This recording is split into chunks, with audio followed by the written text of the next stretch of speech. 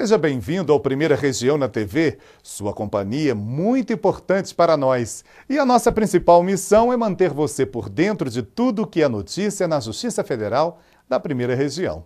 Vamos aos destaques.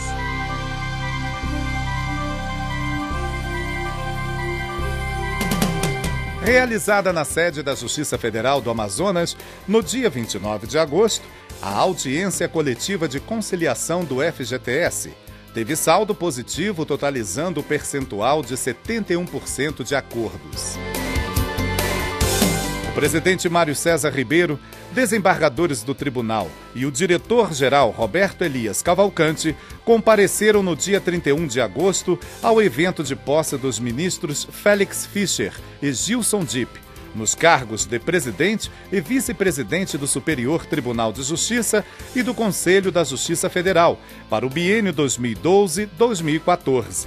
A cerimônia foi realizada na sala do Pleno do STJ em Brasília. A desembargadora Neuza Alves recebeu no dia 3 de setembro a visita da coordenadora e do vice-coordenador dos Juizados Especiais Federais da Quarta Região, desembargadores Maria de Fátima Freitas Labarreri e João Batista Pinto da Silveira. Os magistrados trataram de assuntos relacionados aos juizados. No dia 4, o presidente Mário César Ribeiro se reuniu com membros do Comitê de Qualidade de Vida com o diretor-geral Roberto Elias Cavalcante, com o secretário-geral Paulo Cardoso de Oliveira e representantes das secretarias do Bem-Estar Social, de Recursos Humanos, de Planejamento Orçamentário e Financeiro e da Secretaria de Controle Interno.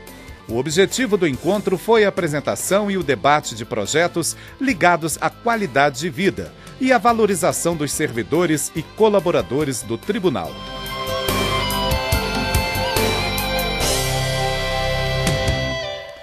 Conheça agora o AgroGEF, um projeto inédito da Justiça Federal que foi levado a comunidades rurais do Mato Grosso.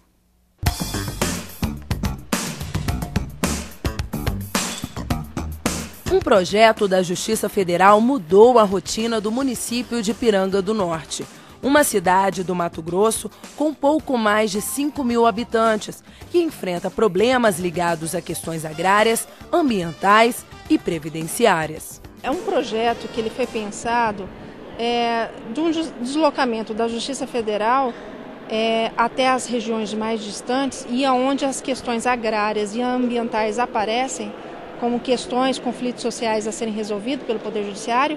E, e assim, foi pensado numa parceria também entre Poder Judiciário, é, Secretaria de Estado, Meio Ambiente, quer dizer, todos os órgãos responsáveis pela execução da, da política ambiental e também é, pensando na regularização fundiária. Aproximadamente 180 trabalhadores, a maioria de áreas rurais, ajuizaram ações do Juizado Especial Federal no Agrogef. Gente como Dona Vilma de Souza, que tem um sonho, conseguir um lote em um assentamento. Queria muito possuir uma terra, né? Que eu sou, não tenho lugar de morar, então eu tenho muito desejo de ter uma terra, né? Por isso eu sou sem terra, eu vi esse sítio aqui eu não quero tomar terra de ninguém, mas se vocês me der uma terra, né, na onde for, não, não importa qual assentamento, qual lugar, mas eu desejo muito, meu sonho é ter uma terra para mim morar com a minha família e meus filhos. Dona Vilma sobrevive com cerca de 700 reais por mês, fruto do trabalho na lavoura. Após fazer a termação, a juíza federal Vanessa Curti, responsável pelo Agrogef e servidores do INCRA foram ao local e constataram que a terra que a dona de casa deseja, ao lado do lote que ocupa com a família há três anos, está improdutiva. Por isso, o atual proprietário pode perder o direito e a terra ser destinada à reforma agrária. É, não tem ninguém. Agora nós vamos nos deslocar, percorrer toda a área para verificar realmente se está abandonado. Estando abandonado, é, daqui para frente isso vai constar no processo e o INCRA possivelmente vai notificar a, a pessoa que teve a concessão de uso para ele justificar o porquê que ele não está trabalhando a terra. O proprietário da terra tenta explicar por que não produziu no local. Devido às condições que não tinha dinheiro, né? Nós trabalhávamos na, fazenda, daí fomos derrubando um pouco, né? Para poder fazer, né? E nós o meu piá também estava trabalhando, né? Daí nós ia trabalhando assim, conforme ia recebendo a porcentagem, o salário ia sobrando, né? Daí nós ia, nós estava mexendo um pouquinho cada vez, né? O processo da dona Vilma e todos os outros atermados em Piranga do Norte serão analisados na próxima fase do Agrogef, a de audiências, que vai acontecer entre os dias 24 e 28 de setembro na cidade de Nova Mutum, no Mato Grosso.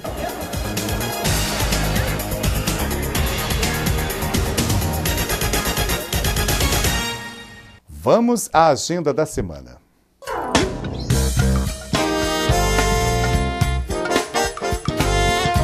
O quarto encontro do Comitê Gestor de Qualidade de Vida no ano de 2012 vai acontecer no dia 14 de setembro, no Salão Nobre do Tribunal. Estão abertas as inscrições para a terceira edição do Prêmio Conciliar é Legal, promovido pelo Conselho Nacional de Justiça. O objetivo é homenagear magistrados e servidores que tenham criado práticas jurídicas que contribuam para a pacificação social. Para concorrer, é preciso inscrever as iniciativas até 29 de setembro, pelo e-mail prêmioconciliar.cnj.jus.br. Os tribunais que apresentarem os melhores índices de pacificação, independente da inscrição de projetos, também serão premiados.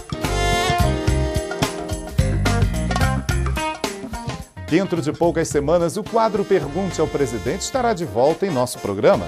Para participar é bem simples. Envie suas dúvidas para o e-mail pergunteaopresidente@trf1.juiz.br. O programa de hoje fica por aqui. Até o nosso próximo encontro, na semana que vem.